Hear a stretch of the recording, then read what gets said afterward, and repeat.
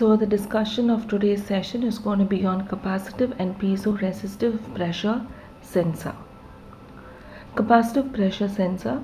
In this, the capacitive pressure sensors measure pressure by detecting changes in electrical capacitance caused by the movement of a diaphragm. A capacitor consists of two parallel conducting plates separated by a small gap. The capacitance is defined by C is equal to epsilon r epsilon naught A by D where epsilon r is the dielectric constant of the material between the plates and epsilon 0 is the electric constant, A is the area of the plates, D is the distance between the plates.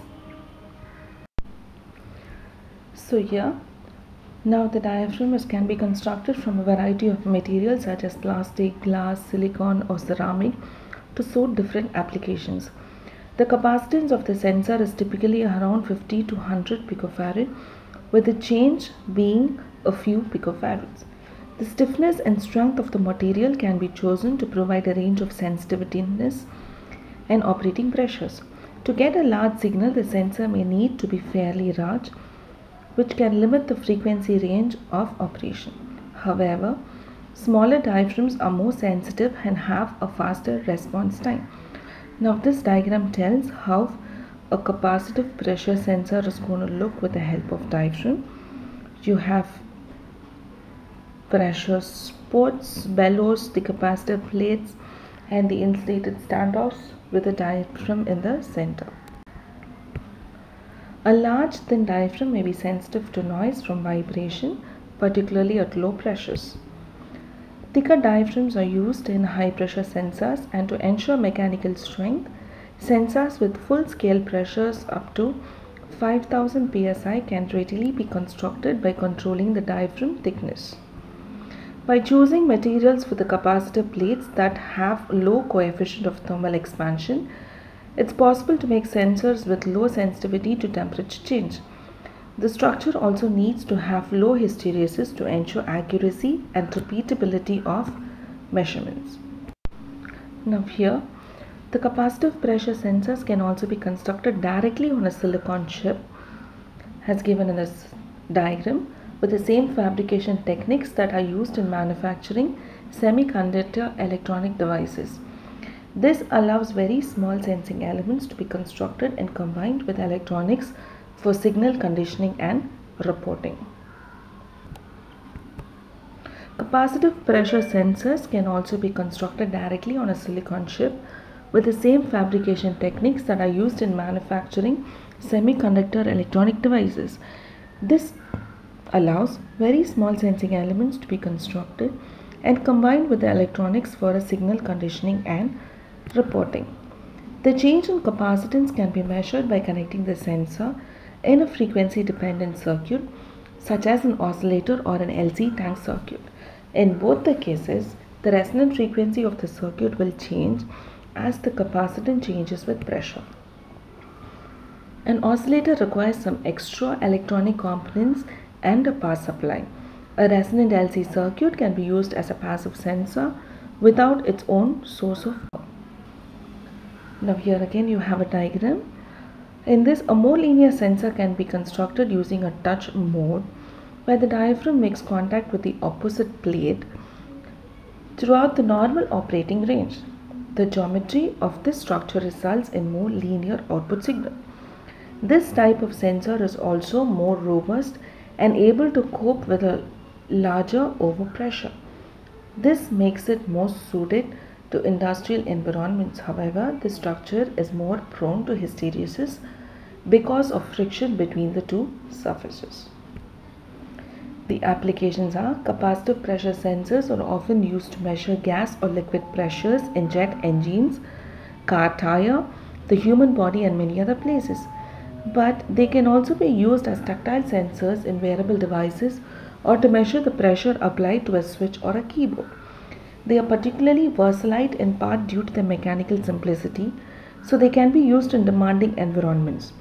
Capacitive sensors can be used for absolute gauge, relative or differential pressure measurements too.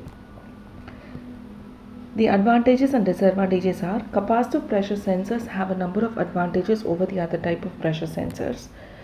wherein they can have very low power consumption because there is no DC current through the sensor element and the current only flows when the signal is passed to the circuit to measure the capacitance. The sensors are mechanically simple so they can be made rugged with a stable output making them suitable for use in harsh environments. Capacitive sensors are usually tolerant of temporary overpressure conditions. The last is they have low hysteresis with good repeatability and are not very sensitive to temperature change. Yes, the next type is the piezoresistive pressure sensor. Now what is piezoresistive sensor? Piezoresistive strain gauges are among the most common types of pressure sensors. They use the change in electrical resistance of a material when stretched to measure the pressure. These sensors are suitable for a variety of applications because of their simplicity and robustness. They can be used for absolute gauge, relative and differential pressure measurement in both high and low pressure applications. The basic principle of piezo-resistive pressure sensor is to use a strain gauge made from a conductive material that changes its electrical resistance when it is stretched. The strain gauge can be attached to a diaphragm that recognizes a change in resistance when the sensor element is deformed. The change in resistance is converted into an output signal. Yes, there are three separate effects that can contribute to the change in resistance of a conductor. They are the resistance of a conductor is proportional to its length, so the stretching increases the resistance. As the conductor is stretched, its cross-sectional area is reduced, which also increases the resistance. The inherent resistivity of some materials increases when it is stretched. The last of these piezo-resistive effect varies greatly between the materials.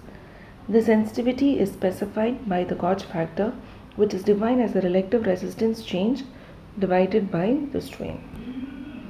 GF is equal to del R by R by E. When strain is defined as a relative change in length, the formula is E is equal to del L by L. So, moving on into the function of piezoresistive pressure sensor, the change in resistance in the circuit is usually measured using a Wheatstone's bridge. This allows small changes in the resistance of the sensor which is to be converted to an output voltage. Piezoresistive strain gauge measurements are made using Wheatstone bridge circuit. An excitation voltage needs to be provided to the bridge. When there is no strain and all the resistors in the bridge are balanced, then the output will be 0 volts. A change in pressure will cause a change in resistance in the bridge resulting corresponding output voltage or current. Performance can be improved by using two or four sensing elements in the bridge with the elements in each pair being subject to equal and opposite strain. This increases the output signal and can minimize the effects of temperature on the sensor elements. Now this diagram tells us how the piezoresistive pressure sensor is going to work wherein you apply a pressure the diaphragm changes its position and with the help of strain gauge the bridges loses its balance and so the output over here is caused in volts but as per the sentence given before it can either be volts or current. Now the metal sensing elements are one or more strain sensors may be from a length of wire that can be attached to the surface of a diaphragm. The pressure on the diaphragm will be stretch the wires and change the resistance. The sensor elements can be bonded onto the surface with adhesive or conductor can be directly deposited on the diaphragm by sputtering. The latter method removes potential problems with adhesiveness failing at high temperatures and also makes it easier to construct small devices. A metal wire sensor can also be made by wrapping a wire between posts that are displaced by changing pressure. This construction can also work at high temperatures because no adhesive is needed to attach the wire to the post. Now, semiconductor sensing elements. Semiconducting materials most commonly silicon, can also be used to make strain gauge pressure sensors. The characteristics of the sensing element, particularly the size of the piezoresistive effect, can be adjusted by doping. In other words, by adding carefully controlled amounts of impurities to the semiconductor. More lightly doped silicon results in a higher resistivity and a higher gauge factor. However, this also increases the thermal sensitivity of both resistance and the gauge factor. Moving on to the advantages and disadvantages, piezoresistive strain gauge pressure sensors have the advantage of being robust. Their performance and calibration is also stable over time. One disadvantage of these sensors is that they consume more power than some other types of pressure sensor. This may mean that they are not suitable for battery powered or portable systems. Metal film sensing elements have the advantage of simple construction and durability. They also have a higher maximum operating temperature up to 200 degrees centigrade than silicon strain gauges which are limited to below 100 degrees centigrade. Silicon strain gauges provide a much larger output signal, making them well suited to low pressure applications down to ground 2 kilopascals. MEMS pressure sensors can be made much smaller than metal wire sensors and can be integrated with electronics for signal processing which can control for non-linearity and temperature dependence. With this, we have come to the end of both capacitive as well as piezoresistive pressure sensors. Thank you.